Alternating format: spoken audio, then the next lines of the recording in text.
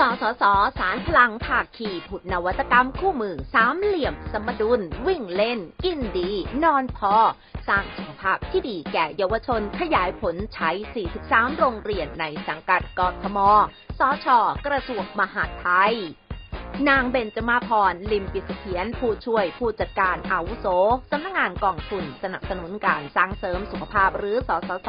ได้กล่าวว่าจากข้อมูลพัฒนาการเด็กปฐมวัยของไทยในปี 2565 โดยกรมอนามัยกระทรวงสาธารณสุขนั้นพบว่าเด็กไทย 25%หรือว่า 1 ใน 4 มีพัฒนาการไม่สมวัย มีผลกระทบต่อสมอง ร่างกายพร้อมอ้วนเกิน และจิตใจการแพร่ระบาดของโควิด -19 ยังส่งผลให้เด็กนั้นมีกิจกรรมทางกายเพียงพอลดลงจากเดิม 24.4%ในปี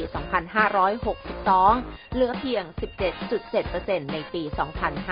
2565 หรือเทียบเท่าเด็กไทย 3 ใน 4 คน มีกิจกรรมทางกายไม่เพียงพอ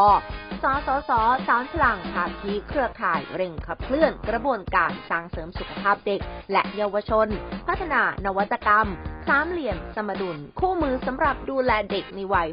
6-12 ปี ทั้งในบ้านและโรงเรียน มีองค์ประกอบสำคัญ 3 ด้าน 1. การนอนหลับ 2. การกิน 3. การเล่นหรือการขยับร่างกายที่เหมาะสม 3 สิ่งนี้มีความสำคัญต่อการเจริญเติบโต พัฒนาการและสุขภาพกายใจของเด็ก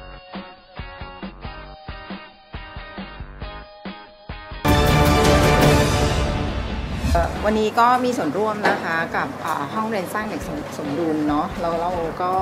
เหมือนได้รับความรู้เยอะมากๆเลยนะคะ รวมไปถึงก็จะนำความรู้ทั้งหมดนะคะไม่ว่าจะเป็นเรื่องของการออกกำลังกายการกินหรือว่าการนอนเนี่ยก็คงจะต้องมีอะไรที่แบบเราว่าเรารู้แล้วอะแต่มันมันมีมีเขาเรียกว่ามีสิ่งที่เราต้องทำมากกว่านั้น เพื่อลูกก็วันนี้ได้รับความรู้เต็มๆเลย แล้วก็จะนำไปพัฒนาแล้วก็นำไปปรับใช้ในชีวิตประจำวันของเราต่อไปตามหมดค่ะแต่ว่า มันยังไม่ได้แบบใส่รายละเอียดแบบเยอะขนาดนี้ คืออย่างที่พวกบอกบอกว่าเฮ้ยเราว่าเราเราโอเคแล้วเราเราทำได้ได้มากแล้วอย่างนอน 8 ชั่วโมงอะเราก็คิดมาตลอดว่าเออเจ็ดแปดชั่วโมงโอเคแล้ว แต่วันนี้แบบเฮ้ยถ้าได้ 9 ชั่วโมงก็จะดีวิ่งเล่นก็คือพยายามวันหนึ่งก็พยายามแบบให้ลูกเล่น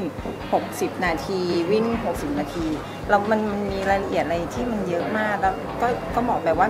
เหมือนเราก็จะพยายามทำให้ดีกว่าเดิมค่ะเพื่อเพื่อตัวเขาเอง สนุกจะไม่กินผักครบสัตว์เออ ก็ก็อยากให้เอ่อทุกครอบครัวพยายามมากกว่านะคะแต่โบเข้าใจว่าสถานการณ์ของแต่ละครอบครัวไม่เหมือนกัน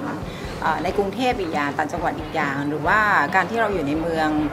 เอ่อภาระหน้าที่ของคุณพ่อคุณแม่ก็จะแตกต่างกันออกไป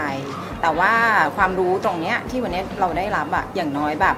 ขอให้ทำ จะทำมากทำน้อยแต่แบบขอให้ทำเพื่อสุขภาพกายสุขภาพใจแล้วก็เพื่อตัวลูกของเราเองค่ะ ที่จะได้แบบต่อไปในอนาคตของเขา